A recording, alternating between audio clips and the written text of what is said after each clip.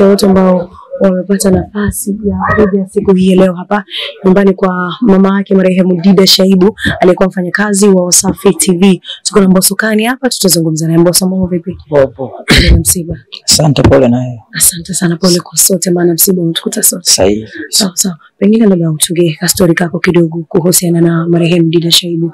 Ulimfahamu vipi? Ukaribu wenu ulikuwaje kipindi ambacho anafanya kazi, lakini pia nje ya kazi?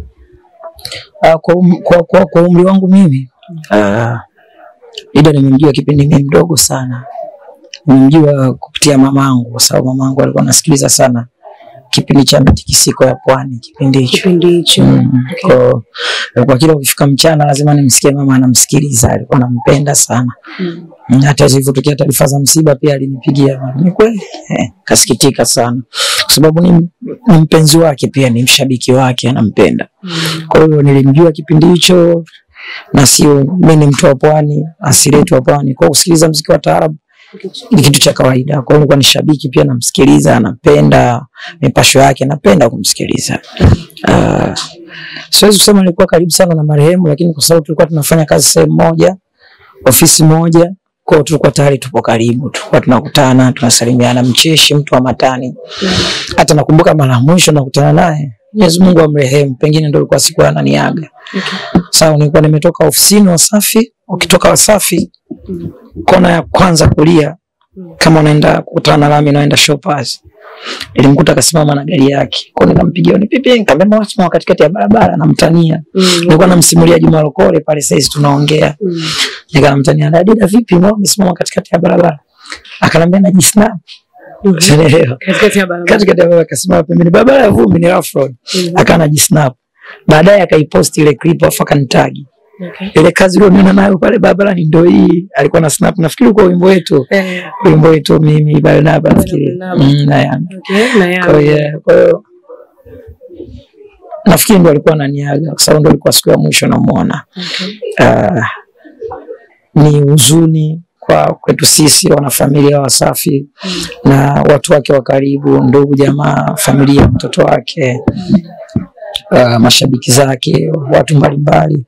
Umeona watu walivyojitokeza kwa wingi kwenda kumsindikiza, inaonyesha ni kiasi gani walikuwa wanampenda na ku, kumwona sehemu ya maisha yao. Kwa siwezi kuongea mengi sana Okay. e, ni kudra za Mwenyezi Mungu na msiba tumeandikiwa ni mawaidha ya ukumbusho kwamba sisi ni wa Mwenyezi Mungu na kwake tutarejea. Kwa hiyo nafikiri tunakumbushwa dhalikatul maut, Kwa tunakumbushwa. Sina mengi zaidi ya kusema zaidi ya kumwombea tu dada yetu, Mwenyezi Mungu amrehemu, eh, ampe kauli thabiti kwa endako, amsamehe makosa yake, amweke miongoni mwa waja wake ambao kesho na kesho kutwa watakuwepo kwenye pepo yake. Inshallah. Pole sana na msiba. Asante sana. Pe- Pengine jana tumeona mkiwa mmefanya dua kule, Mm. watu wamezungumzia sana, wasema bora hata show inge- ingehairishwa kidogo Mm. ili kutokana na huu msiba ambao mzito umetokea, Mm. lakini show imeendelea jana, na pia pengine hata haikufanyika vile ambavyo pengine mlipanga kuifanya. Ilikuwaje siku ya jana, huku mna huzuni, alafu inatakiwa timiza majukumu ya kazi? Of course, ni, ni, ni, haikuwa siku nyepesi kama watu wanavyofikiria. Okay. Uh, natamani watu wangevaa viatu vyetu na sisi, kwa sababu tulikuwa tushafika kule, tushaonekana kule. Mm. Tulijaribu kuangalia busara na kufanya maamuzi ambayo yatakuwa yamesimama katikati ya pande zote mbili. Mm. Tulichokifanya ni kufanya ibada ya kumwombea na kuichukua lile tamasha kulifanya la kwake kiedi.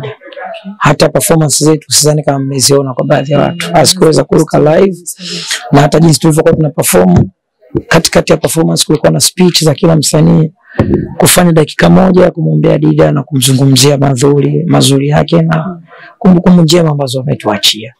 Kwa hiyo haipo kama watu wanavyofikiria wao. Kwa nawaelewa kibinadamu inakuwa ina ukakasi kidogo, lakini kwenye hali ya kibinadamu pia tunatamani nao wangekuwa sisi kwa muda ule pale, wangeona mtihani wake kwenye kufanya maamuzi hapo lakini ndio mitihani Mwenyezi Mungu tumefanikiwa, tulifanya dua na huko dua imefanyika, wamemzika na sida, tumejumuika na familia kutoa pole. Ndio Mwenyezi Mungu alivyotuandikia, kwa sababu msiba bwana sio kama harusi. Useme tutajipanga tutapeana taarifa, wala msiba sio shughuli. Msiba ni mitihani ambayo inatokea kwa dharura, ambayo Mwenyezi Mungu mwenyewe ameshaiandika, huwezi kumpangia kwamba bwana Mwenyezi Mungu inabidi ufanye kwa kesho kutwa. Hapana, hapo tayari imeshaandikwa. Exactly. Ni, kitu kipi ambacho tunaendelea kukikumbuka kwa marehemu? Ah, sauti yake ya gharama, mashallah, Mwenyezi Mungu alimpa kipawa kipawa ambacho alikuwa na uwezo wa kuzungumza na akasikika. Kuzungumza peke yake si tatizo, kuzungumza na ukasikika, ah, mashallah, Mwenyezi Mungu alimjalia alimjalia nyota ya mahaba, alikuwa anapendwa mashallah, wakina mama eh, sisi vijana vijana ambao kidogo kwetu pwani pwani, alikuwa anapendwa mashallah, alikuwa anapendwa sana, alikuwa mcheshi, mtu wa watu, ndio maana umeona wingi wa watu waliojitokeza kumsindikiza eh, kwa hiyo dhahiri shahidi inaonyesha ni kiasi gani alikuwa anapendwa. Mm, kwa hiyo tutakumbuka mema yake na nafikiri tutaifanya kuwa moja ya siku nzuri ya kumbukumbu ya kukumbuka mazuri yake na kumwombea kwa kila mwaka na kuendelea inshallah. Mimi nitakuwa ni mmoja wapo wa kumfanyia ibada hiyo kwa kila mwaka inshallah. Uh, kuna mazuri ambayo huwa tunayofanya na baadhi ya watu na tunaendelea kuyakumbuka kila siku. Pengine kuna moment ambayo wewe na Dida mliwahi kufanya kwa pamoja, bado ina roll, pengine ndani ya kipindi, nje ya kipindi. Ni moment gani ambayo utaikumbuka baina ya nyinyi watu wawili? Ah, nyakati nyingi zinakuwa ni pe, pe, pembezoni mwa, mwa vipindi tu, okay. ucheshi wake, stori, tukikutana ofisini pale Matani, nafikiri ni hivyo. Uh, siwezi kusema kama tulikuwa na mazoea akapitiliza Matani akawa mengi. Ah, mbali na kazi tulikuwa tunasalimiana na mtania na nitania mdogo wangu, sina nini hivyo eh.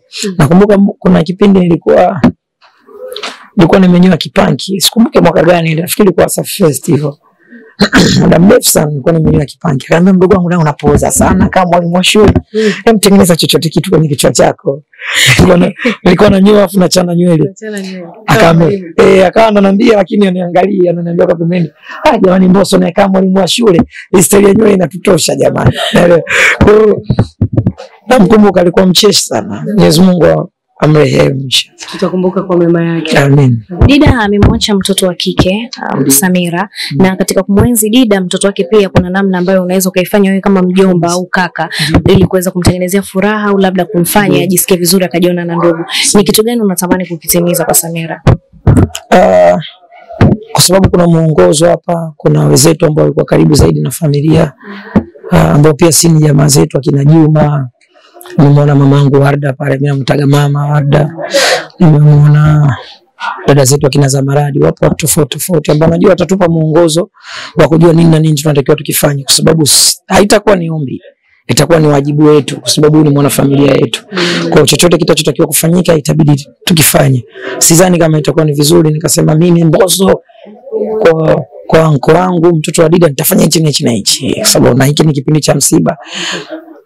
Unajua hizi ni kamera na hizi ni mic. Kila mtu anaweza kachukulia kwenye ingo yake. Naweza nikazungumza kitu hapa, ah, ameanza mambo yao bwana. Kila sehemu kila sehemu wanataka wafanye vitu hiyo. Mnasema nini? Kila sehemu makiki, sijui nasema hivyo. Eh, Kwa hiyo sidhani kama itakuwa ni picha nzuri sana. Tutapewa mwongozo na kama nimekwambia, nilivyokuambia sisi ni familia. Sio ombi. Ni wajibu kumsupport Samira. Sawa, na kuna mashabiki wengine watatamani kujua, wanatamani kumwona bosi Mm. wa Wasafi ambaye ni Diamond Platnumz mahali hapa, lakini mmeonekana nyie, Mm. mmeonekana wasanii wengi including Zuchu, yeye pia hajaonekana. Mm. Taarifa zozote kwa sababu ni mtu wake wa karibu. Ah, bosi wetu sikasafiri yuko Zimbabwe. Eh, kwa nafikiri akirudi mtafahamu. Na uzuri akirudi nchini kila mtu anajua kama karudi, akiondoka pia kila mtu. Nafikiri kila mtu anafahamu kama ipo Tanzania. Kwa hiyo maana akirudi atafika hapa. Huu ni msiba tu sisi wote. Na yeye ndo kama kiongozi mkubwa wa familia ya Wasafi. Kwa ni ni jukumu lake lazima atafika. Manta hofu. manta shaka. mm. yeah. moja kwa familia. Ah, mimi ni mwanafamilia pia, kwa nitangulize pole kwao. Huu ni msiba wetu wote na tupo pamoja kwenye hili. Mwenyezi Mungu atatuvusha inshallah, kila kitu kitaendelea. Ah, na marehemu wetu tuendelee kumwombea eh, huko alipo, kwa sababu sisi ndo tunatakiwa tu, tumsaidie kwa sasa hivi. Dua zetu ndo zitamuongezea shufaa, nuru na kivuli kwenye, kwenye kaburi lake. Kwa tusiache kumwombea, sio si, sio wanafamilia tu sisi hata nyinyi wanahabari, kwa sababu mimi na imani kupi, kupitia Dida wewe pia umejifunza kitu kwenye maisha yake ya utangazaji, sababu umekuwa unamuona. Kwa ni jukumu letu kumwombea. Alikuwa mtu mwema, mstaarabu, mcheshi, eh, mashallah Hana maringo. hana maringo, alikuwa mtu wa watu. Kwa hiyo tuendelee kumwombea. Asante sana. Asante sana, sana.